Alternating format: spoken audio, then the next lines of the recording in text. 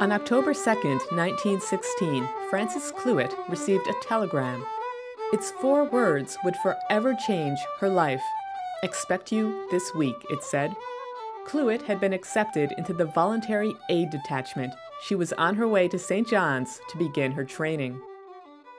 The Voluntary Aid Detachment was a unit of semi trained nurses who served in Europe during the First World War.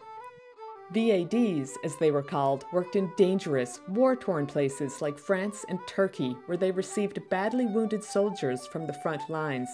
They were flexible workers who did whatever was needed. They drove ambulances, cleaned hospital wards, prepared and served meals, sterilized medical equipment, bandaged wounds, bathed patients, made their beds, and prepared their meals. It was a big step for a small town woman, Frances Cluett, or Fanny as everyone called her, was born and raised in the fishing community of Belloram on Newfoundland's south coast. She came from a family of fish merchants and was descended from some of the area's earliest settlers, like John Cluett, who built Belloram's first school in the 1830s. Fanny Cluett also proved to be a community leader. Before she went overseas, she was a school teacher. She also took a leading role in local community and church groups. When the war broke out, Cluett became president of the Belloram branch of the Women's Patriotic Association. It was an island wide volunteer organization that made significant contributions to the war effort. Its volunteers raised tens of thousands of dollars and sent shipment after shipment of desperately needed food, clothing, and other supplies to troops overseas. But Cluett wasn't content to simply send care packages to Europe. She wanted to go there herself. In 1916, the 33 year old decided to join the Voluntary Aid Detachment. Over the next four years, Cluett compiled a wealth of letters and photographs that today give us an important eyewitness account of Europe during the war. But the first step in her wartime service was a trip to St. John's to complete about four weeks of training. She wrote about her experiences in frequent letters to her family in Belloram. Dear Mother, I arrived at St. John's Friday around 2 p.m. Wasn't a bit seasick coming, no more than on land. At 8 p.m., Mrs. Browning took me down to British Hall to the lecture room. I was just a little late.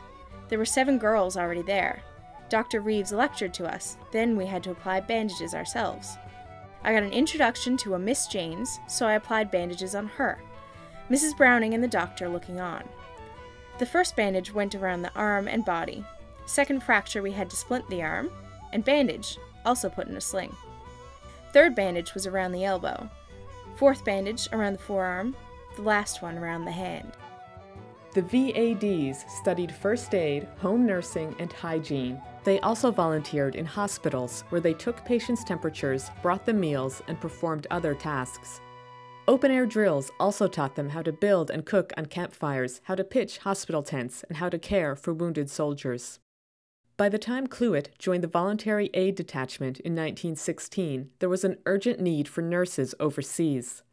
Europe's casualty hospitals were chronically understaffed, and medical personnel were overwhelmed by the thousands of wounded soldiers who kept pouring in from the front lines. The Voluntary Aid Detachment decided to cut its training program from about seven weeks to four so it could send more people overseas. Cluett took her exams on October 29th. A few days later, she was on her way to Europe. After a brief stay in New York and then London, she was assigned to the 4th Northern General Hospital in Lincoln, England. The facility received convoy after convoy of wounded soldiers from the front lines. Young men with gunshot wounds, missing limbs, and terrible injuries. It was a shocking introduction to the brutality of war for Frances Cluett. The fifth day, when I was helping Sister with the dressings, I fainted away. When I came to myself, I was stretched out on the floor. I tell you, I have seen some horrible wounds. I often have to turn my head and look out through the window.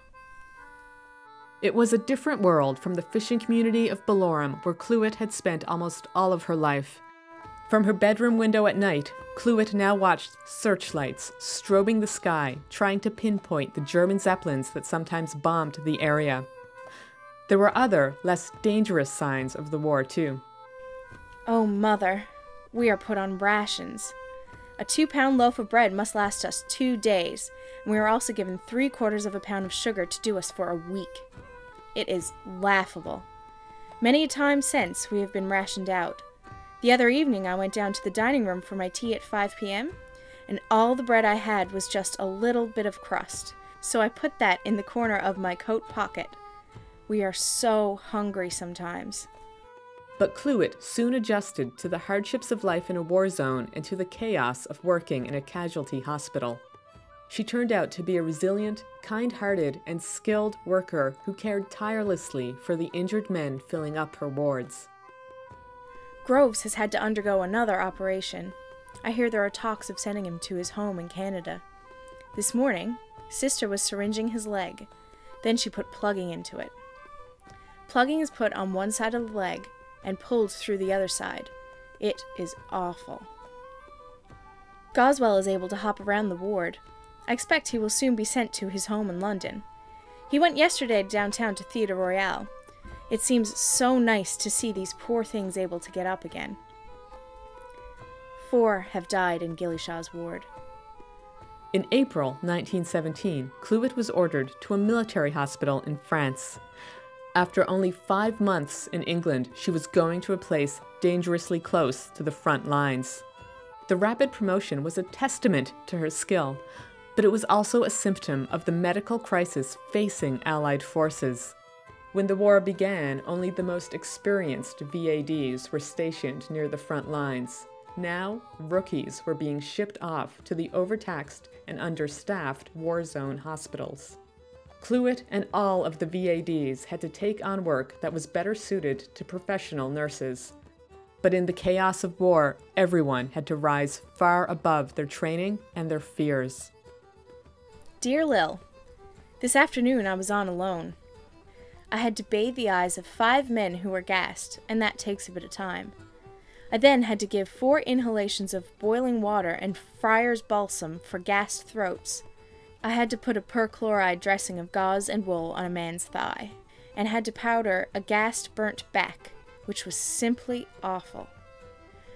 You told me before I left I should never stand the work. I remember hearing you say about staying in the ward with the dead. Ah, Lil, many a bedside have I stood by and watched the last breath, with the rats rushing underneath the bed in groups, and the lights darkened. I do not dwell on some of the horrible and terrible sights I have witnessed. On November 26, 1917, the war affected Cluett in a very personal way. On that day, her cousin, Lieutenant Vincent Cluett of the Newfoundland Regiment, died from the wounds he received in battle five days earlier. He was 21 years old. I used to think that perhaps Vince and I would spend our vacation together. I think of him when I see the drafts go up the line headed by the officers. I knew when he was sick that he must be more than slightly wounded, as he never once wrote me. Otherwise, I should have had a very long letter. It was the Battle of Cambrai he was wounded in. All our boys got knocked out. Gas was used a lot. Poor Vince's wound was gassed as well.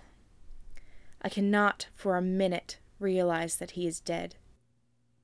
In the middle of all that pain and misery, Cluett's letters home were a lifeline, a connection to a familiar and a safe world and to the people she loved.